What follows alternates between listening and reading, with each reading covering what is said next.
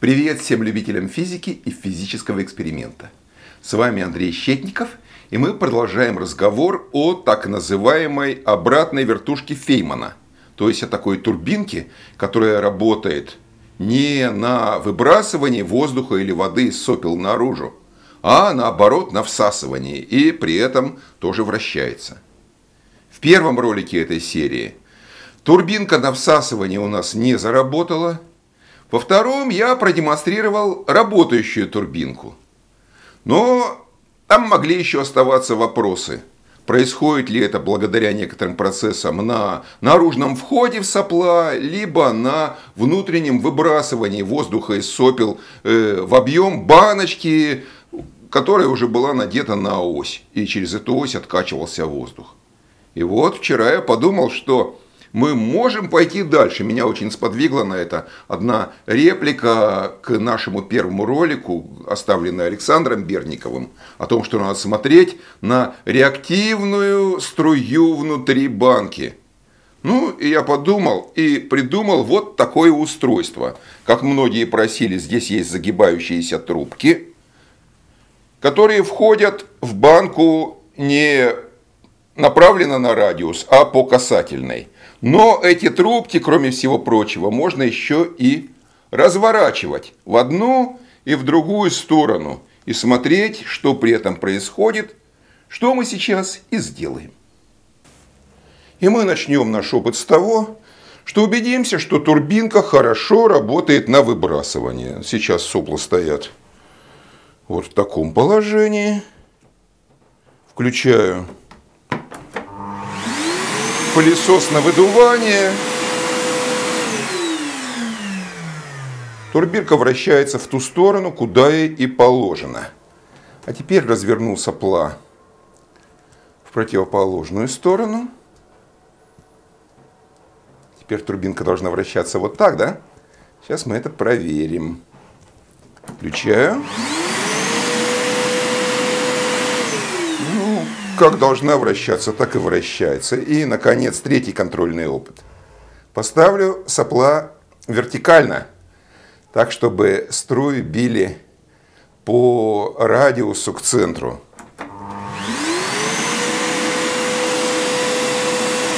Ну и опять же, как мы ожидали, турбинка никуда не вращается. А теперь я перевел э, пылесос в режим работы на всасывание – включаю насос. И мы видим, что турбина сейчас вращается соплами назад. Ну, давайте мы остановим все это хозяйство.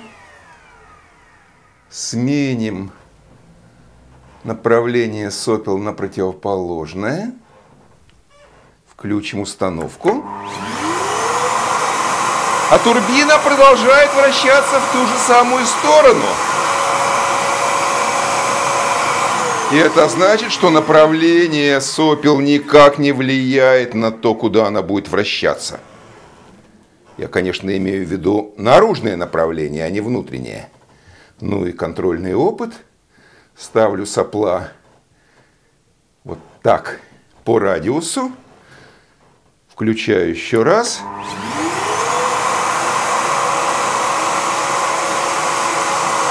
И турбина вращается снова, причем она все три раза вращалась в одну и ту же сторону.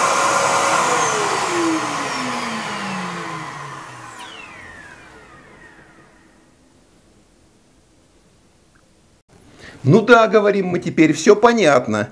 Э, струи врываются по касательной во внутреннюю область, формируют здесь вихрь, вихрь вращается в одну сторону, а поэтому в силу принципа реактивного движения сама турбинка будет вращаться в другую сторону, как показано красными стрелками. Но не спешите говорить, что все понятно, потому что у нас остался еще один опыт. Я его показывал в предыдущем ролике. Может быть, не все обратили на него внимание, так что сейчас я повторю его снова. А теперь мы еще раз убедимся, что турбинка вращается на всасывании, когда сопла стоят вверх. Вот она пошла крутиться и набирает свои обороты. Я ее остановлю. А теперь, как и в прошлом ролике, я положу вниз в баночку небольшой кусочек стальной ваты. И снова установлю баночку на место. Включаю установку. И никакого вращения нет. Даже если я чуть-чуть помогу, турбинка все равно останавливается. Но смотрите, струи бьют там внутри по касательной, и это означает, что наверху вихрь, по-видимому, все-таки вертится, а вот внутрь, в трубочку, он пройти не может.